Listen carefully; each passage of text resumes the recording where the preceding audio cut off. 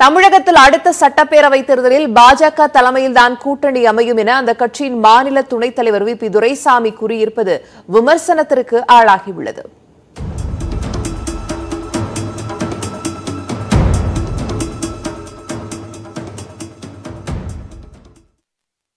திமுகவிலிருந்து அண்மையில் பாஜகவில் இணைந்த வி. பி. துரைசாமி சென்னையில் பாஜக தலைமையகத்தில் செய்தியாளர்களை சந்தித்தார். அப்போது தமிழகத்தில் இனி திமுகவுக்கும் பாஜகவுக்கும் தான் போட்டி என்று கூறிய அவர் சட்டமன்ற தேர்தலில் பாஜக தலைமையிலேயே கூட்டணி அமையும் என்று குறிப்பிட்டார். டிஎம்கே வர்சஸ் ஏடிஎம்கே என்று போன வாரம் வரை நிலைப்பாடு இருந்தது. கடந்த சட்டமன்ற உறுப்பினர் மாண்புமிகு கு. செல்வம் சேர்ந்ததுக்கு பிறகு பிஜேபி வர்சஸ் டிஎம்கே என்ற நிலை மாறி இருக்கிறது இது எங்களுக்கு வளர்ச்சி. நாங்கள் வேகமாக வளர்ந்து கொண்டிருக்கிறோம். எங்களை யார் அனுசரித்து செல்கிறார்களோ நாங்கள் யார் பக்கம் இருக்கிறோமோ அந்த கூட்டணி வெல்லும் ஆட்சி அமைக்கும். தலைமையிலான கூட்டணி தலைமை நாங்கள் தான். பாஜக தலைமையிலான கூட்டணி தான் ஆமாய்யா நாங்கள் கவர்மெண்ட் ஆஃப் நேஷனல் பார்ட்டி இந்த விவகாரம் அதிமுக பாஜக இடையே கூட்டணி அமைவதில் சிக்கல் ஏற்படுமா என்ற கேள்வி எழுந்துள்ள நிலையில் ஆனால் மாநில தலைவர் எல். முருகனோ அல்லது பாஜக தலைமையோ கூறியிருந்தால் மட்டுமே இது பற்றி தங்களால் கருத்து கூற முடியும் என அமைச்சர் ஜெயக்குமார் கூறியுள்ளார். அவர் வந்து அவங்க கட்சியில் ஜனநாயகம் இருக்குது சரிதானா ஜனநாயக அடிப்படையில் வந்து எல்லாரும் எல்லா கருத்து சொல்லுவாங்க. அவர் சொன்ன கருத்து அந்த கருத்துக்கு உடன்படுறது உடன்பாடு இல்லையான்றதெல்லாம் வந்து யார் திசை பண்ணுறது பிஜேபியினுடைய டெல்லியும் பிஜேபியினுடைய மாநில தலைமை. ஸோ அவங்க சொல்லிட்டோம். அதுக்கு பிறகு எங்களுடைய ரியாக்ஷனை நாங்கள் காண்கிறோம்.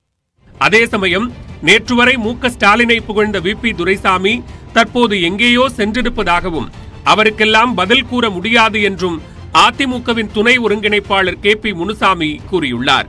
நேற்று வரை திரு கருணாநிதியை புகழ்ந்தவர் நேற்று வரை திரு ஸ்டாலினை புகழ்ந்தவர் அதற்கு முன்பாக புரட்சி தலைவி அம்மாவை புகழ்ந்தவர் இன்று எங்கோ ஓடி இருக்கிறார் ஓடி இருக்கிற இடத்தில் தன்னை முகத்தை காட்டிக்கொள்வதற்காக இது போன்ற கருத்துக்களை எல்லாம் சொல்லிக் கொண்டிருக்கிறார்.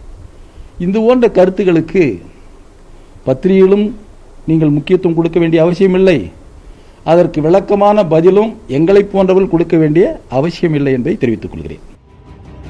அதிமுகவுடன் கூட்டணி அமைக்காவிட்டால் பாஜகவுக்குத்தான் இழப்பு என அரசியல் விமர்சகர்களும் தேர்தலுக்கு முன்னர் இதுபோன்ற கருத்துக்கள் வெளியாவது சகஜம்தான் என்றும் மூத்த பத்திரிகையாளர்களும் கூறுகின்றனர். அதிமுக கூட்டணியை விட்டு விலகினால் அது பாஜகவுக்கு தான் ஒரு இழப்பை ஏற்படுத்துமே தவிர அதிமுகவுக்கு ஒரு பெரிய இழப்பை ஏற்படுத்தாது. இன்ஃபேக்ட் அதிமுக உடைய அப்பீல் வந்து கொஞ்சம் கூடக்கூடியதான் வாய்ப்பு இருக்கிறது. பாஜக இல்லாமல் அவர்கள் தேர்தலை சந்தித்தார்கள் என்றார் ஆனால் இதுல ஹிடன் மீனிங் என்னன்னா மத்திய அரசினுடைய அழுத்தம்.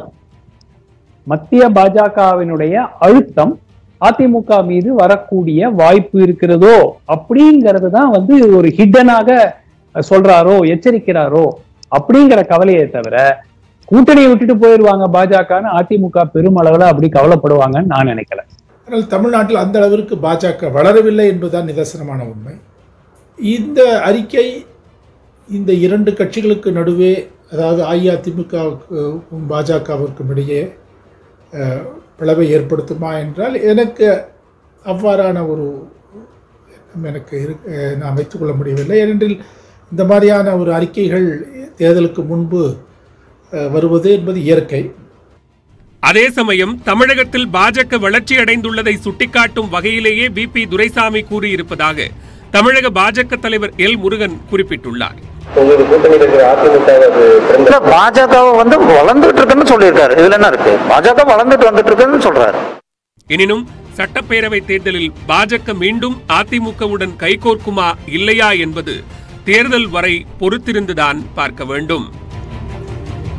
சட்டமன்ற தேர்தலை யார் தலைமையில் சந்திப்பது என்று அதிமுக பாஜக இடையே முரண்பட்ட கருத்துக்கள் எழுந்துள்ள நிலையில் மதுரை கிழக்கு தொகுதியில் பாஜக போட்டியிட உள்ளதாக சுவர் விளம்பரங்கள் வரையப்பட்டுள்ளன.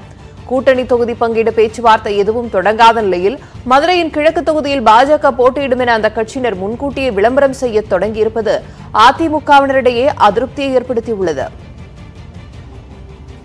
வரும் சட்டமன்ற தேர்தலில் திமுக மற்றும் பாஜக இடையேதான் போட்டி என்பது நகைப்புக்குரியது என திமுக எம்பி தயாநிதி மாறன் தெரிவித்தார். சென்னை மண்ணடியில் தனது தொகுதி நிதியிலிருந்து கழிவறை கட்டும் திட்டத்தை தொடங்கி வைத்த பிறகு செய்தியாளர்களிடம் பேசிய அவர் திமுக மத நல்லிணக்கத்திற்கான இயக்கம் என்றும் வி பி துரைசாமியின் விமர்சனத்திற்கு பதிலளிக்க விரும்பவில்லை என்றும் கூறினார்.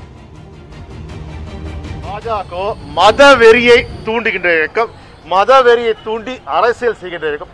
அது தமிழகத்திலே கண்டிப்பாக வெற்றி பெறாது.